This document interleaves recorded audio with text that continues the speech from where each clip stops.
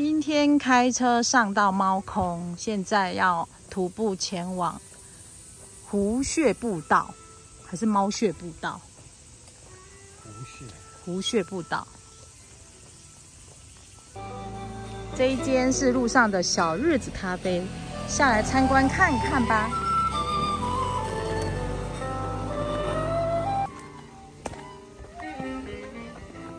觉得这个如果是晚上来，这样走在这边有路灯，这样也蛮清幽的。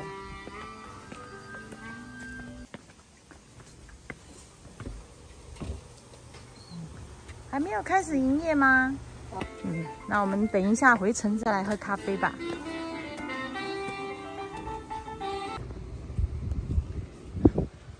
这秋天的天气啊，虽然有太阳，呃，有点热，但还不至于过热。走起来呢，还算舒服。那走在，呃，要到步道之前，这边就会又出现一些咖啡厅、餐厅。这段路是我们去年没有走过的另一个方向。那这一次选择开车上来，那再开始走。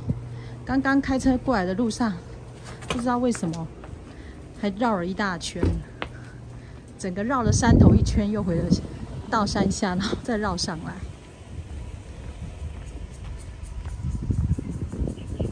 风景宜人啊！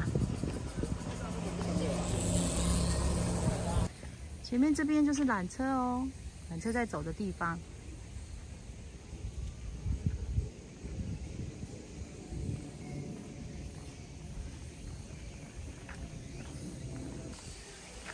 我们现在在这个地方要改走健康步道，再绕过来走湖穴地形，再走湖穴步道，再沿着路走回来。这一段就是健康步道了。看起来所谓的健康步道，就是先让你走下山，然后等一下再让你走上山。那因为如果我们没有走这一段的话，走外面那条路是比较平缓一点的路，所以下山上山叫健康步道。上面呢是刚走下来的健康步道，现在再往下面走，这一段就比较阴凉一点。这段步道比较特别哦。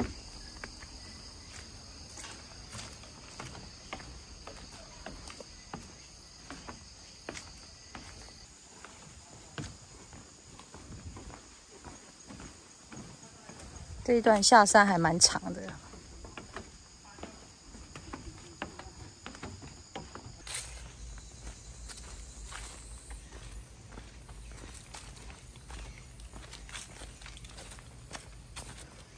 刚刚都一直下山，现在遭受报应，要准备往上了。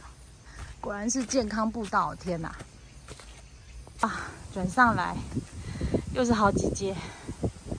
啊，真是自作孽啊！果然是健康步道，走到一半有一个健康亭，可以休息一下。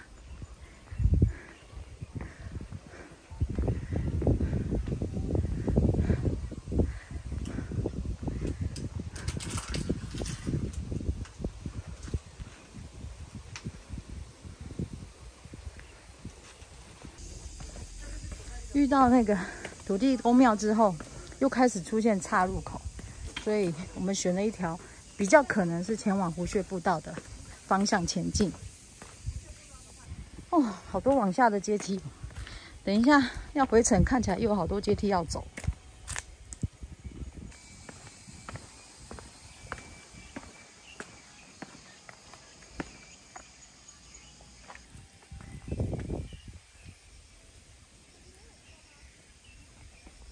耶，我们到达了湖穴步道入口了。哇，有两个哎，结果一进去又出现岔路吊路。桥一个。他刚刚有说好像是右前，是不是？来看这里，哦，这里了。这里如果走到吊桥，大家再走回来，不要，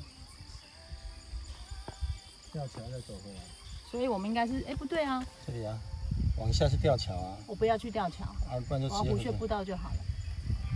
所以我们来选了右前方这条，前往湖穴步道了。这边就是湖穴步道，不知道为什么湖穴步道叫做湖穴步道呢？老板可以解释一下吗？这个步道路小小的。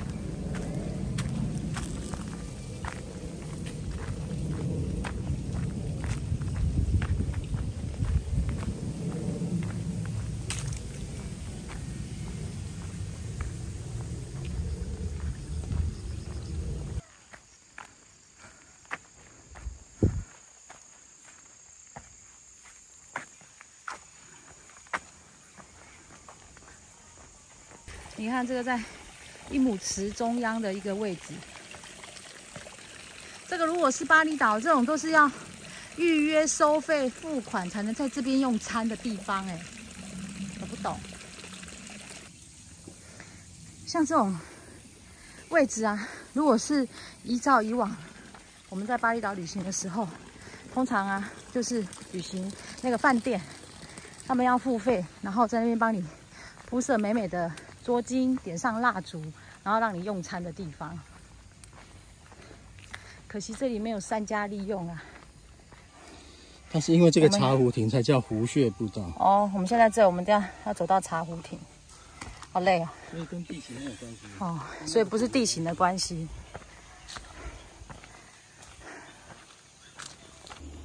上面应该就是平地了。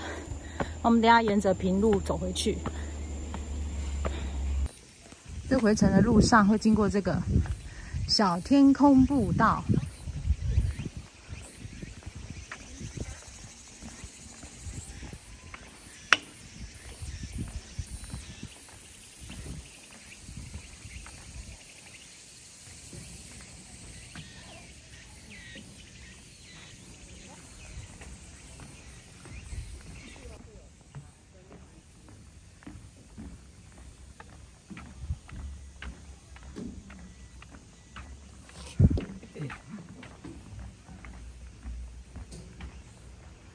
路人也很配合的，耶哦耶！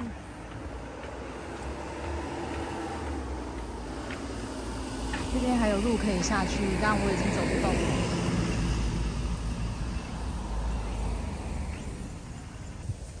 这一间是路上的台北市铁观音包种茶研发推广中心，来这边逛一下，看看有什么好茶。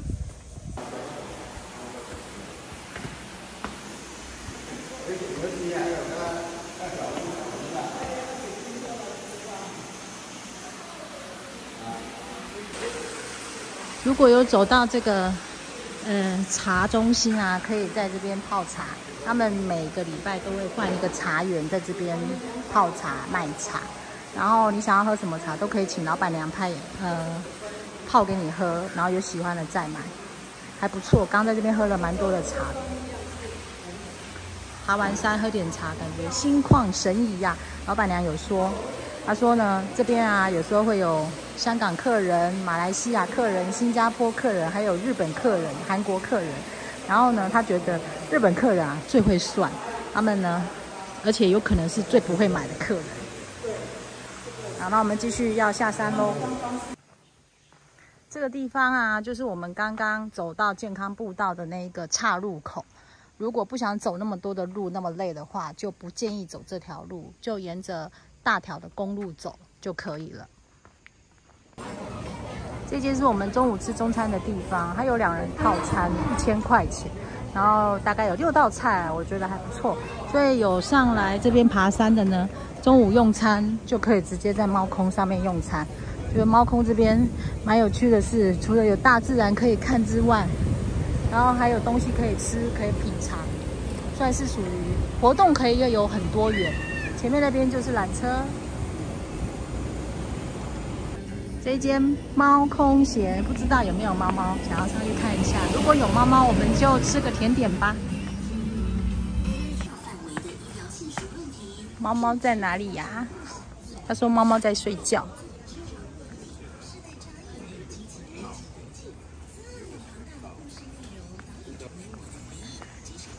啊，原来猫猫在这睡觉，哇，肥肥的猫猫。嗯，这是另外一只，嗨，喵喵。还有一只喵喵在这里睡觉，看一下。哇，睡得好幸福。这一间呢，就是猫空闲，上面有两只猫猫，不过都在睡觉。吃完饭呢，就点个饮料，吃一个甜点，休息一下，等一下准备下山了。那今天的天气呢，也非常的舒服。那我们已经吃饱了，也爬过山，也喝了茶了，准备下山回家喽，拜拜。